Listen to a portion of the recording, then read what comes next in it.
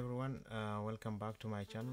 In the last uh, video we tackled the login form. Today we are building it is counterpart the registration form. Plus we will make sure that uh, they talk to each other.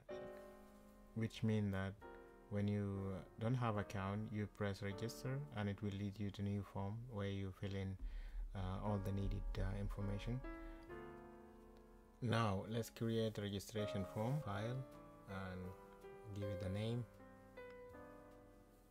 And here we need um, heading should be the same as, uh, as in in login form. Or we just call it index. And now style and javascript are the same. To connect to the registration form we come to uh, don't have account a login or register we come to um, a registration option and we choose uh, the file that we want to connect. And now if we just press registration button it will uh, go to the new file that you have just created. And here just uh, we fill in the basic uh, structure of HTML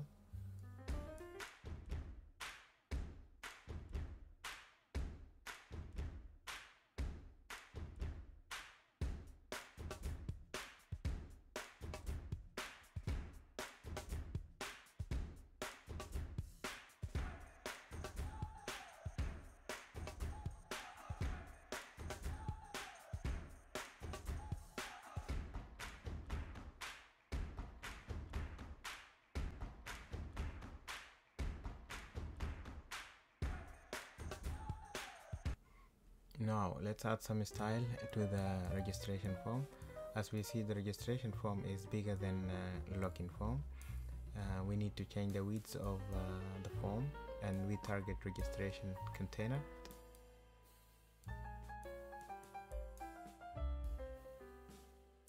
The title in the center of the form and put the input level a little bit higher than input field that when we write something we can see uh, the text that we, uh, we are writing.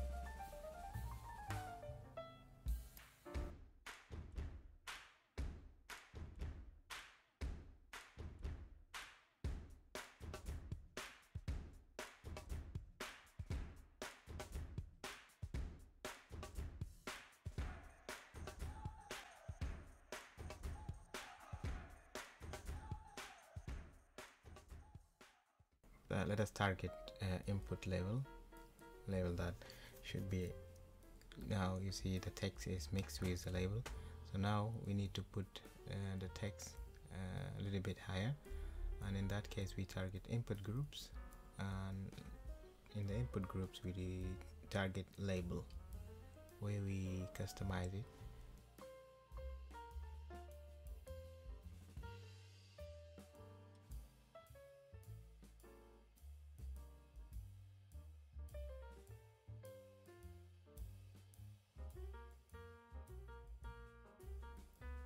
when you press the button here there's nothing pop up.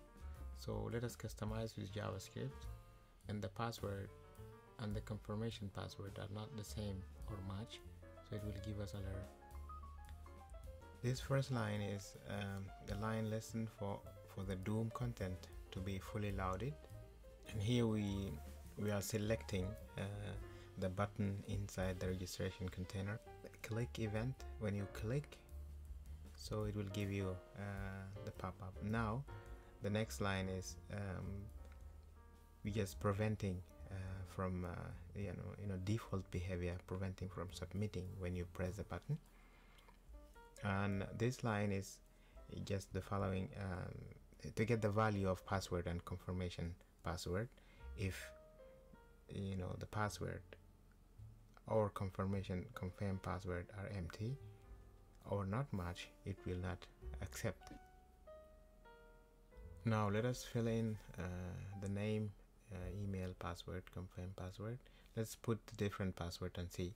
And now if you see I put a different password and it said that password do not match or it's empty. Thank you for watching